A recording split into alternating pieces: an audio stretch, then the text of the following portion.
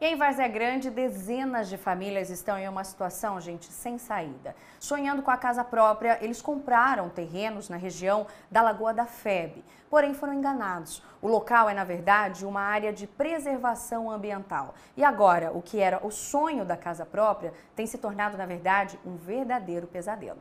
Alisson está noivo e vai se casar. E querendo sair do aluguel, Alisson recebeu uma proposta e comprou um terreno nesta região. Com um pouco mais de dois anos de construção, a obra já estava em fase final, mas quando o Alisson chegou, ela estava assim, no chão. Sonho de todo mundo, né? Todo mundo quer ter seu cantinho, quer, quer ter sua casa. A gente vem trabalhando aos poucos, conforme o andar da gente, a gente vai pisando onde a gente consegue para ter nossas coisas, né? É difícil porque investimento, né? Você chega, você termina de pagar uma coisa na segunda-feira, na terça-feira você chega e está tudo de água abaixo. Mas não é só o Alisson que está nesta situação.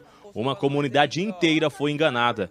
Mesmo com documentos de compra e venda em mãos, eles estão ameaçados de ficarem na rua. Segundo os moradores, eles adquiriram os lotes no valor de 7 mil reais e não foram informados que o local era uma área de preservação do meio ambiente, Lagoa da Febe, em Várzea Grande. O governo fala que há 11 anos essa área está sendo monitorada, é uma vergonha isso para o governo falar que essa, há 11 anos eles estão monitorando essa área, como que 11 anos esse bairro se formou. É uma vergonha eles falar isso.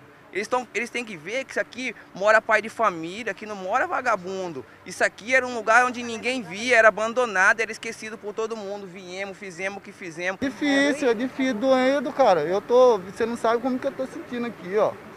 Chegar aí, os outros virem falar que vai derrubar minha casa, pô. É brincadeira não, eu tenho minha filha pequena.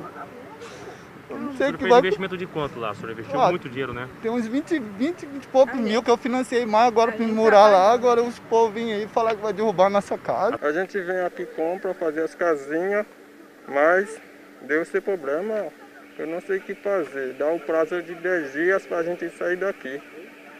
Mas a gente não tem dinheiro para frente e não é para alugar outra casa.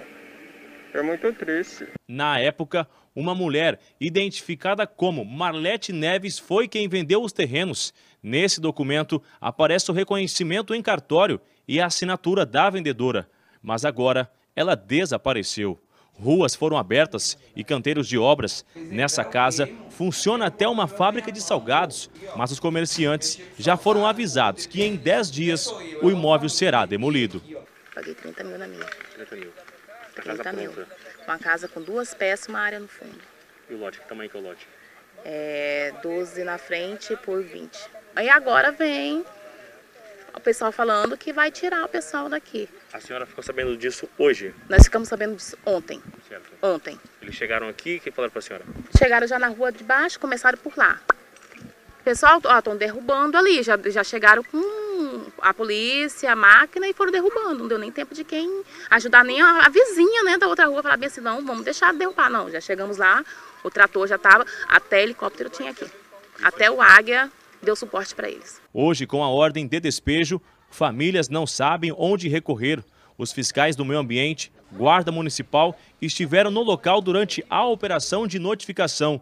Nós tentamos conversar com o responsável pelas notificações, mas ele não aceitou falar com a nossa equipe. Este morador ainda questiona as notificações. Na região, existem barracões de empresas que ainda não foram notificados para deixar um local. Mesmo com todos os documentos jurídicos apresentados, os moradores afirmam que não vão deixar as residências. Nós não vai sair, vai ter que trazer aqui todo mundo, vai ter que trazer todo mundo aqui, porque vai ter que matar nós para tirar nós daqui, que não vai tirar nós daqui. Guarda municipal pode vir armado, pode dar tiro, pode fazer o que quiser, nós não vamos sair daqui, nós vamos ficar. Se vir para quebrar segunda-feira, vai ter que quebrar com nós dentro da casa, que nós não vamos sair.